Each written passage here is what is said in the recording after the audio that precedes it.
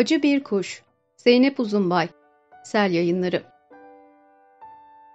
Bir kayanın üzerine oturmuşum. Sicim gibi yağmurun altında ellerini sarı yağmurluğunun ceplerine sokmuş, şarkısıyla birlikte uzaklaşan küçük turnanın ardından bakıyorum.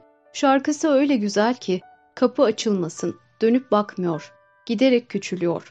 Küçük turnam benim. Dünyanın bir sonu varmış da sanki oraya yürüyor. Sona geldi işte. Sona oturup ayaklarını sonsuz boşluğa sallıyor küçüğüm. Daha önce hiç söylemediği bir şarkıya başlıyor. Bu onun dünya şarkısıymış. Yağmur dindi, gökkuşağı üstünden geçiyor. Zeynep Uzunbay rotasını şiirden hikaye ve romana çeviren bir kalem işçisi. Acılı Bir Kuş onun ilk kurgu romanı. Uzunbay bu romanında kendisiyle, çocukluğuyla, ailesiyle, toplumla ve hayatla derin bir hesaplaşmaya giriyor. Romanın baş kişisi Turna'nın 80 darbesini izleyen karanlık zamanlardaki gençliğini bir işkence hanede çağırdığı ışıklı çocukluk anları eşliğinde okuyacaksınız.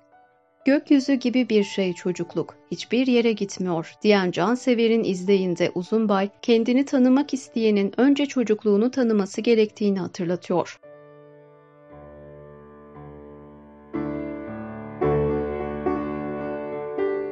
Anılarda Sait Faik Adil İzci Varlık Yayınları Herkes kendi hayatının günlük dairesini çizerken yakası kalkık pardösüsüyle Said Faik Beyoğlu'nda geziyor bir aşağı bir yukarı. İnsan tanımak, hikaye yazmak, yaşamak benim işim diyor.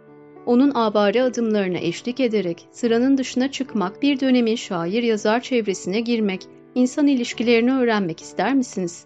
Kimileri bir yazarın hayatı hakkında kaleme alınan anıların okurun algısını yönlendirdiğine inanır.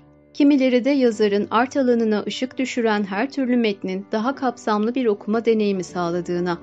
Adil İzci ikinci gruptan. Ayrıca Said Faik'i tanımış, onunla dostluk kurmuş kişilerin yazılarını bir araya getirirken Orhan Buriya'nın anmak sevmektir diye özetlediği sözünü kılavuz edinmiş. Anılarda Sait Faik, yalnızca modern hikayeciliğimizin bu öncü adını aşklarıyla, dostluklarıyla, mutsuzluklarıyla yakından tanımamızı sağlamıyor, aynı zamanda birbirinden değerli 43 kalemden bir şölen sunuyor.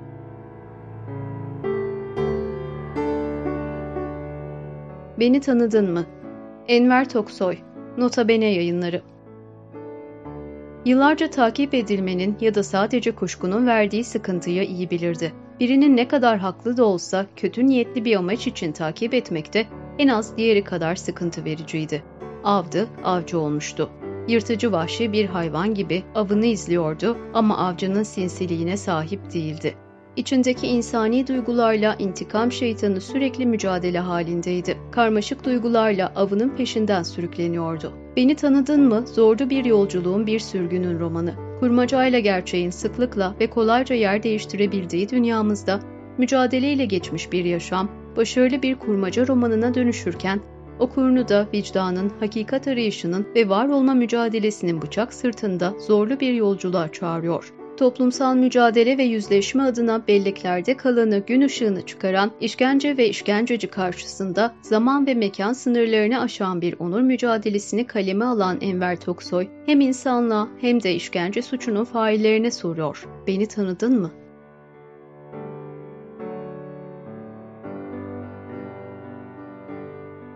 Tarih üzerine yeni yaklaşımların tartışılması. Marek Tam, Peter Burke, İmge Kitabevi Yayınları 20. yüzyılın sonlarında toplumsal bilimler üzerinde nefes aldırmaz bir tahakküm kuran postmodern ve post yapısalcı akımlar, büyük anlatılara, devasa kuramsal çalışmalara saldırı üzerinden kendilerini var ettiler. Kuşkusuz toplumsal bilimler içinde ayrıksı bir yere sahip olan tarih bilimi, bu kültürelci saldırılardan en fazla nasibini alan ve dolayısıyla itibar kaybına uğrayan disiplindi. İnsanlığın toplumsal geçmişine ilişkin tarihsel analizin yerine soykütüksel sorgulamayı koyan bu genel eğilim karşısında tarihçiler ve tarih bilimi uzun süre suskun kaldı. Marek Tam ve Peter Burke'ın derlediği tarih üzerine yeni yaklaşımların tartışılması çalışması bu post yapısalcı tarih bilimi itibarsızlaştırmasına karşı bir manifesto olarak okunabilir.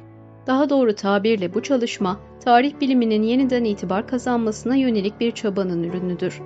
Tarih üzerine yeni yaklaşımların tartışılması, genel tarih disiplinine sadık kalarak çevresel tarihten sömürgecilik sonrası tarihe, toplumsal cinsiyet tarihinden bellek tarihine, bilginin tarihinden duyguların, şeylerin tarihine uzanan geniş bir alanda farklı çalışmaların yer aldığı ufuk açıcı bir çalışmaya damgasını vuruyor.